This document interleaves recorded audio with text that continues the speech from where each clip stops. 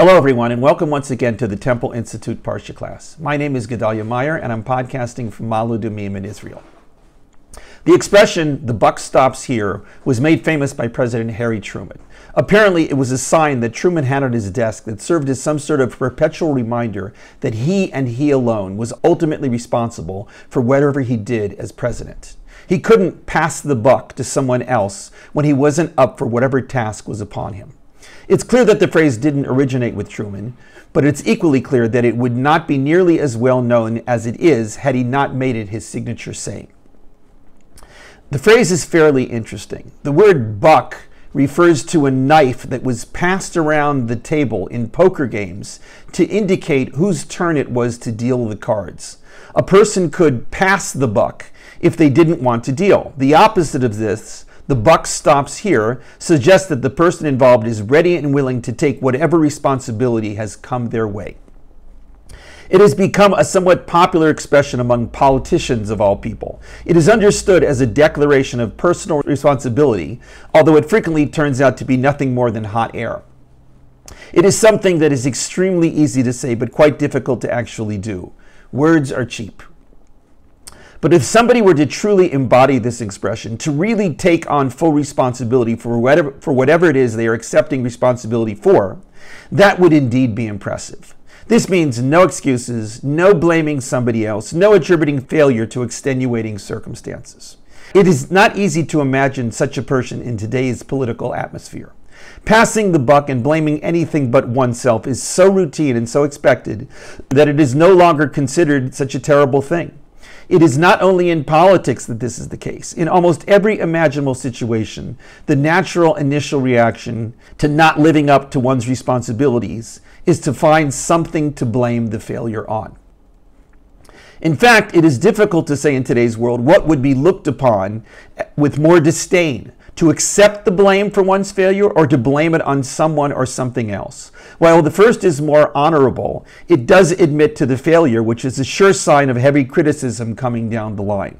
The second method at least allows the person involved to squeak out of any blame since they are not accepting any blame to begin with. This skewed view of personal responsibility is, in my opinion, an indication of the warped values which have infected much of society in our day and age. Personal responsibility was always a hallmark of integrity and honor. If that is now looked upon as a negative to be avoided if possible, it doesn't bode well for the future. This week's Parsha is called Pinchas. This is another Parsha named after a person. Pinchas was somebody whose name came up in passing in the book of Exodus as one of the descendants of Aaron, the high priest. He is not mentioned again until the end of last week's Parsha when he has his moment of glory. This week's parsha starts off with the follow-up of the events of at the end of last week, of last week's. Although his name only come up, comes up once in this parsha, in the second verse, that is enough to grant him the rare honor of having a parsha named after him. But it's to last week's, last week's parsha that we have to go to understand what he did to deserve this honor. There was a fairly traumatic scene at the end of the parsha following all the prophetic declarations of the prophet Bilam. It seems that many of the Israelites allowed themselves to be, to be seduced by the women of Moab. Why this abject sign of moral failure happened at this point is left unclear. Their failure was not limited to sexual matters, however. These women invited them to engage in the idolatrous practices of the Moabite nation, an absolute spiritual disaster for the Israelites of the Bible. But they fell for the trap, and the catastrophe had to play out. God told Moshe to mobilize some sort of public display of God's wrath to quell the disaster. The le- leaders would be the ones to suffer consequences of this moral failure. But the plan never came to fruition because some, of some inability to act that struck those who could have dealt out this punishment. While all this was taking place, an Israelite brought a woman from Midian right smack into the middle of the encampment, right in front of Moshe and everybody else, to apparently engage in some blatant sexual relations. At this point, Pinchas enters the story. The key quote in the story goes as follows Pinchas, the son of Eleazar, the son of Aaron the high priest, arose from the assembly and took a spear in his hand. He followed after the Israelite man into the inner region, and he impaled both of them, the Israelite man and the woman, in their inner parts, and the affliction ceased among the Israelites. This was the only time the name of Pinchas is mentioned in the story. The Parsha concludes with the statement that a total of 24,000 people died as a result of this whole calamity. This week's Parsha begins, quote, God spoke to Moshe saying, Pinchas, the son of Elazar, the son of Aaron the priest, reversed my wrath from among the Israelites when I zealously took up the cause among them, and I didn't destroy the Israelites in my zeal. While late, he later became a somewhat major figure in the book of Joshua, his role in this story is over and he's only mentioned once more in the rest of the books of the Torah. But these two citations of his name were enough to assure him of eternal fame in Judaism. What did he do that was so great? It is true that he was the man of the hour in staving off the divine wrath over this serious breach of morality, but it is nothing really more than a passing incident. This sort of thing seems to happen every other week in the book of Numbers. Even in the Parsha named after him, he is not a particularly significant figure. He saw what needed to be done and he did it. While there might be some who may look at his deed as the Torah's version of a vigilante killing, that is not how he has come down in Jewish tradition. He is looked upon as the classic hero, the person who rose up at the right moment to do what needed doing and what nobody else was willing to do. There is a certain traditional rabbinic backdrop to this whole story. It all comes from a strange phrase that is stated in the middle of everything. Moshe had asked the judges to handle the killing of the leaders of the sexual rebellion, but their apparent inaction gave this Israelite man the opportunity to do what he did, that in turn resulted in Pinchas's heroism. That strange phrase states that, quote, they were crying in front of the tent of convocation. It is unclear in the text who exactly was crying and crying and why. Some say it was all those involved who should have been taking charge, including Moshe. In other words, Moshe himself was paralyzed by this brazen impropriety and couldn't act. At that point, Pinchas entered the scene and reminded him of an obscure law that is not stated anywhere in the written text of the Bible.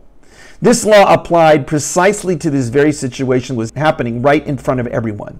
The law allowed for a particularly zealous individual who was outraged by what was happening to take matters into his or her own hands and stop the incident in its tracks.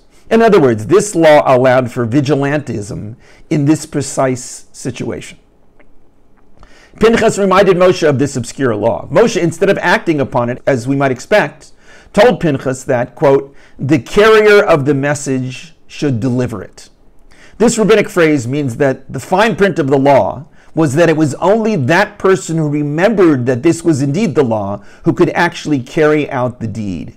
To be a genuine vigilante, one had to be moved by the moment. Anything else, in being reminded of the need to be a vigilante, was not sufficient. This additional rabbinic backdrop really clues us in on why Pinchas is considered such a hero. While he did the deed that stemmed off the brewing disaster, that was not all that he did.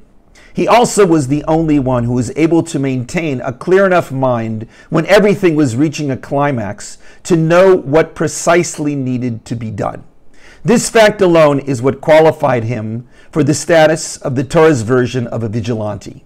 Anybody else, including Moshe, could not have risen to this moment for the reason that they didn't maintain the awareness that this was the proper thing to do. There was no message for Pinchas to deliver to anybody. The message was the act itself, which only he could do because only he, he remembered the message. There is an ironic subtext to all this that has some bearing on the idea of passing the buck and the buck stops here. Could we say that all those others who witnessed this whole thing and essentially sat back and did nothing passed the buck? The answer, perhaps surprisingly, is no. They really didn't know what to do. They were paralyzed with inaction. Perhaps their crying was a symptom of this paralysis in that they sensed that they weren't living up to their responsibilities but couldn't do anything about it. But it was their unawareness of what needed to be done that spared them the guilt of passing the buck. It was only Pinchas, the single person who was aware, who could claim the right to say, the buck stops here. It is not just anyone who can ascend to that level of responsibility. Only those who, are, who truly understand what needs to be done can also understand that it is incumbent upon them and them alone to do it. Knowledge is responsibility. Ignorance, as limiting and as, as ignorant as it is, can be a form of moral bliss. If one doesn't really get the needs of the hour, one cannot truly be responsible for implementing them. To be able to say the buck stops here and to live according to that claim is to truly know the situation. Pinchas, of all those people who witnessed that incident, was the only one who really got it. The others saw but somehow missed something essential. Moshe really told Pinchas when he reminded Moshe of that obscure law that the buck could only stop with Pinchas. Sometimes this is the way things have to be. We may only have a few opportunities in the course of our lives to play the role of a Pinchas. This may be because we simply rarely encounter such a situation, or it may be because we lack the awareness right at that moment of what needs to be done. But when the moment arises and we, when we find ourselves in the position to know what to do and that we alone have somehow been chosen to do it, we have to act. There can be no passing the buck when fate calls upon us to act. Shabbat Shalom.